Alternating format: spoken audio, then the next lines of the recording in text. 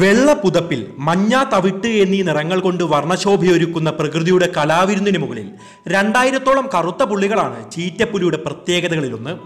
African കാടുകളിൽ മൃഗരാജാവായ സിംഹം ചീറ്റപ്പുലികളെ കടിച്ചു കീറുന്നത് ഒരു സ്ഥിരം കാഴ്ചയാണ് എങ്കിലും മൃഗരാജാവിനെയും മറ്റേത് മാർജാരവർഗത്തെയും വെല്ലുന്ന ചില പ്രത്യേകതകൾ ചീറ്റപ്പുലികൾ എന്ന അത്ഭുതവർഗത്തിന് മാത്രമായി പ്രകൃതി കനിഞ്ഞു നൽകിയിട്ടുണ്ട്. അതേ പ്രത്യേകതകൾ വളരെ ലഘുവായി നമുക്കൊന്ന് പരിശോധിക്കാം. ഈ ചാനൽ നിങ്ങൾ ആദ്യമായി കാണുകയാണെങ്കിൽ ഞങ്ങളെ പ്രോത്സാഹിപ്പിക്കുവാനും തുടർന്നുള്ള വീഡിയോകൾ ലഭിക്കുവാനും വേണ്ടി ദയവായി സബ്സ്ക്രൈബ് ചെയ്യുക അടുത്ത് കാണുന്ന ബെല്ലൈക്കൺ കൂടെ എനബിൾ ചെയ്യുക.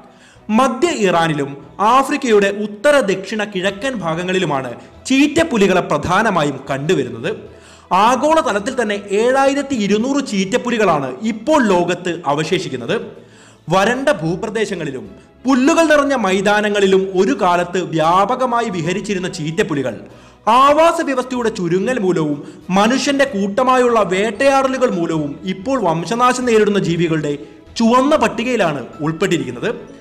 അതെല്ലാം ഖേദകരമായ വസ്തുതകൾ തന്നെയാണ് എങ്കിലും അതിസുന്ദരനും അതീവ നിഗൂഢവും ആകാംക്ഷയും നിറഞ്ഞതുമായ ചില പ്രത്യേകതകൾ ഉൾക്കൊള്ളുന്നതുമായ ഇതേ ജീവി മറ്റു ജീവികളിൽ നിന്നും ഏറെ വ്യത്യസ്തനാണ്.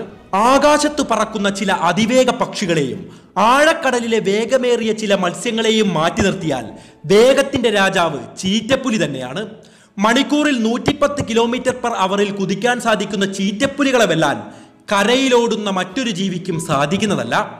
ഇരയെ കണ്ടെത്തി കേവലം മൂന്ന് മുതൽ അഞ്ച് സെക്കൻഡുകൾക്കുള്ളിൽ തന്നെ തന്റെ പരമാവധി വേഗതയിലേക്ക് കുതിച്ച് ഇരയെ കീഴ്പ്പെടുത്താൻ ചീറ്റപ്പുലികൾക്ക് സാധിക്കുന്നു. അതിവേഗതയിൽ ഓടുമ്പോഴും പെട്ടെന്ന് ദിശ മാറ്റുന്ന മാനുകളെയും മറ്റും നിമിഷങ്ങൾ കൊണ്ട് തന്നെ തന്റെ ദിശയും മാറ്റി കീഴ്പ്പെടുത്തുവാൻ സഹായിക്കുന്നത് അവരുടെ നീളമേറിയ അതായത് ഒരു മീറ്ററോളം നീളമുള്ള മസ്കുലാർ വാലുകളാണ്. അതായത് ഓടുമ്പോൾ ശരീരത്തിന്റെ താളം നഷ്ടപ്പെടാതെ ഉയർന്ന വേഗത പ്രാപിക്കാൻ ചീറ്റപ്പുലികൾക്ക് സാധിക്കുന്നത് ഇതേ വാലുകൾ ഉള്ളതുകൊണ്ട് തന്നെയാണ്. മറ്റു വലിയ പൂച്ചകൾ അഥവാ ലാർജ് കാറ്റ്സ് എന്നറിയപ്പെടുന്ന ജീവികളെ പോലെ ഗർജിക്കാൻ സാധിക്കില്ല എന്നതാണ് ചീറ്റപ്പുലികളുടെ മറ്റൊരു പ്രത്യേകത. പൂച്ചയുടേതിന് സമാനമായ ശബ്ദവും മുരളലുമൊക്കെയാണ് ഇവരുടെ ആശയവിനിമയ രീതി. മനുഷ്യന്മാർക്ക് സമാനമായ രീതിയിൽ ഓരോരുത്തർക്കും ശബ്ദത്തിന് ഓരോ ഗുണമുണ്ട് എന്നതാണ് ഈ അടുത്ത് നടന്ന കണ്ടെത്തലുകൾ.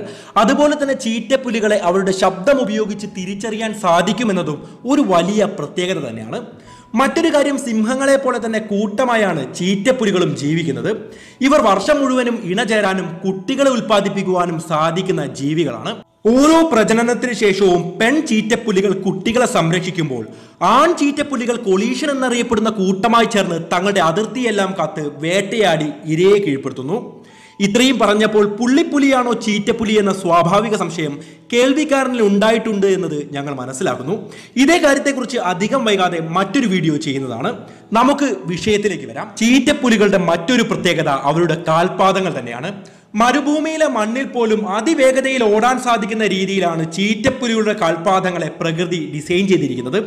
സിംഹവും കടുവയും പോലുള്ള ജീവികളിൽ നിന്നും വ്യത്യസ്തമായി ഓടുമ്പോൾ കാൽപാദം പൂർണമായും ഒരു നായയെ പോലെ മണ്ണിൽ പതിപ്പിക്കാൻ ചീറ്റപ്പുലികൾക്ക് സാധിക്കുന്നു. ശക്തിയുടെ അടിസ്ഥാനത്തിൽ മാത്രം തുലനം ചെയ്യുകയാണെങ്കിൽ സിംഹത്തിൽ നിന്നും കടുവയിൽ നിന്നുമെല്ലാം മരണം വരെ സംഭവിച്ചേക്കാവുന്ന ഒരു ജീവിയാണ് ചീറ്റപ്പുലി. എങ്കിലും ഇരയെ കീഴ്പ്പെടുത്താനുള്ള വേഗതയും സൂര്യപ്രകാശത്തിന്റെ ഗ്ലെയറിൽ നിന്നും കണ്ണിനെ സംരക്ഷിക്കുന്ന സമാനതയില്ലാത്ത കാഴ്ചശക്തിയും കാട്ടിലെ ഇതേ ഓട്ടക്കാരന്റെ പ്രത്യേകതയായി ജന്തുശാസ്ത്ര ലോകം കണക്കാക്കുന്നു.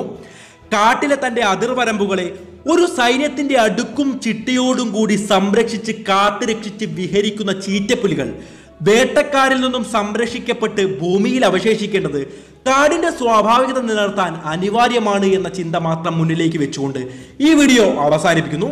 വീഡിയോ ഇഷ്ടമായെങ്കിൽ ലൈക്ക് ചെയ്യുക കമന്റ് ചെയ്യുക. മറ്റൊരു വീഡിയോയുമായി വീണ്ടും കാണാം. നന്ദി നമസ്കാരം.